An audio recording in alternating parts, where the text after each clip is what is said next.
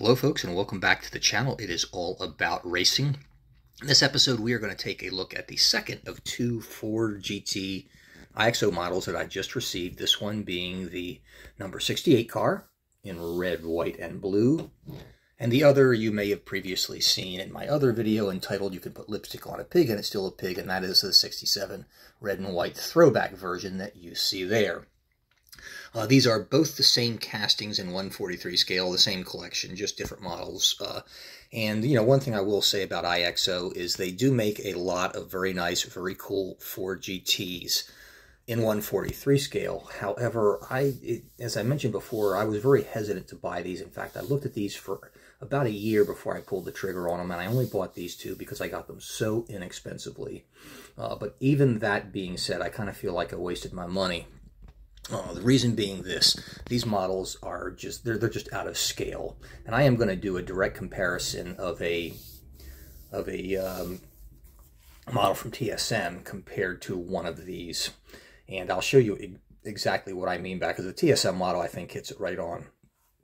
But nevertheless, if you have to have a Ford GT and you cannot afford a Spark, or a TSM model, which can run as much as $85, $90, and you can get these, quite frankly, for 50 bucks.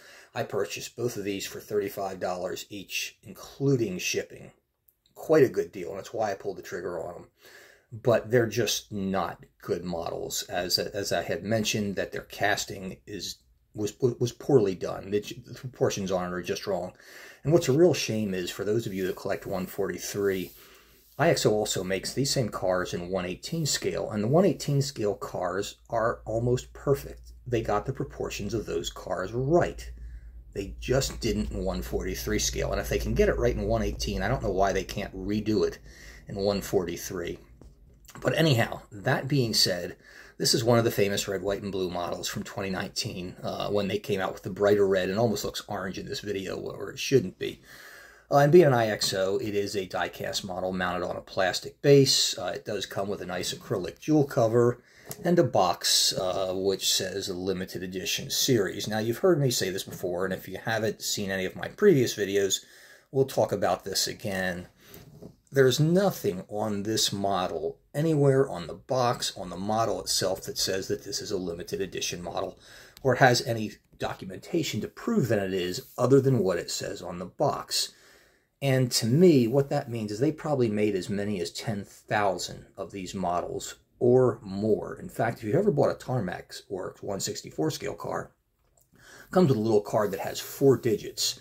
And I saw one guy do a video on YouTube where he had number 6,096 of those four digits, which means they made about 10,000 of those cars. Uh, you got four digits, that's 999. You know, do the math, it, it, it figures. Uh, so I'm, I'm guessing that they probably made as many as 10,000 of these, but they don't even tell you what number you got of it. So I don't really buy that. You know, I don't really care because I do have quite a few IXO models of this, what they call this limited edition collection. And it doesn't make any difference to me uh, that they're limited edition or not. But anyhow, that being said, you know, this model is for the most part very, very nicely done. We spin it around here. We'll take a look at the front of it a little bit. You know, unlike the Spark model, it's not fluid with uh, carbon fiber finishing like you typically see on the dive planes in the front splitter or even on the TSM model, which I'll show you, which is very, very nicely done. IXO just doesn't give you that, but then again, they don't charge you 85, 90 bucks for a model. You pick this up for 50 bucks on average. Headlight detail is not exceptional, but they get it. You know, they they give you a headlight you know, that looks good, but just not exceptional. Uh, they include things like the little Aireon, the little metal thing that you see right there. Uh, that measures airspeed and wind velocity, and they feed back, back, back to the engineers. Uh, you do have the front radiator, and you can take a look and kind of see, you know, the paintwork is a little sloppy there because you can, you can see that all around the black on the white. And unfortunately, this is something that you get typically with IXO models. Again, it's not real noticeable unless you look up really close. You do get nice interior detail. Windshield banner looks good. You know, one thing that they did get right on this, thank God, is they got the red mirrors on this car, uh, which it should have, but it should also have a red banner uh, or a little, little banner of red on top of the Ford, which they missed on this model.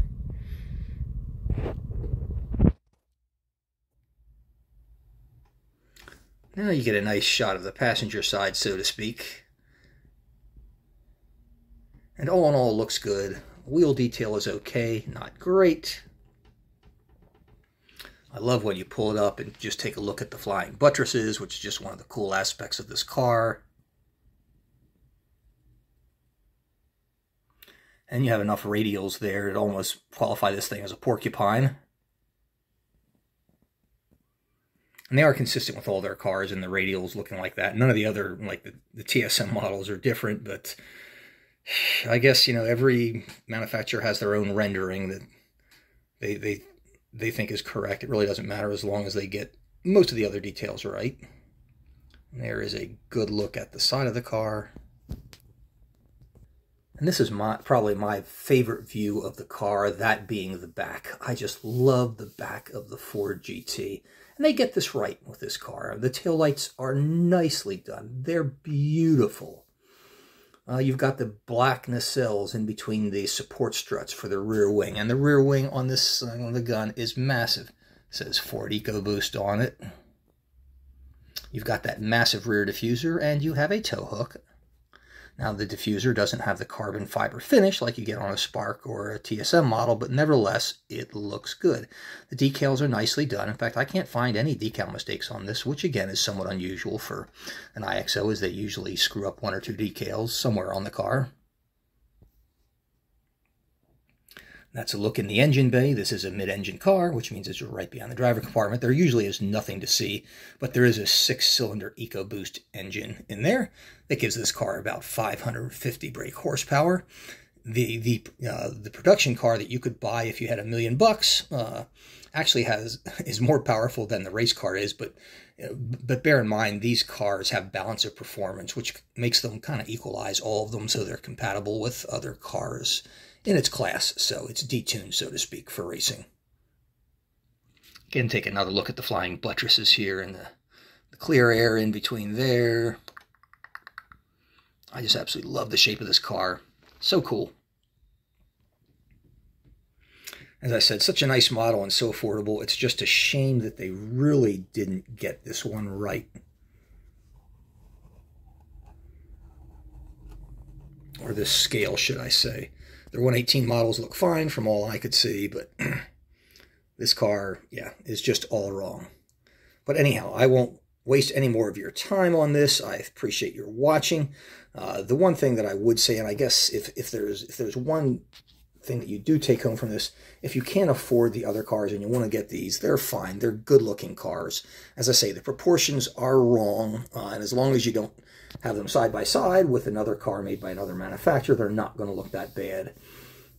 but and by itself, they just don't look that good.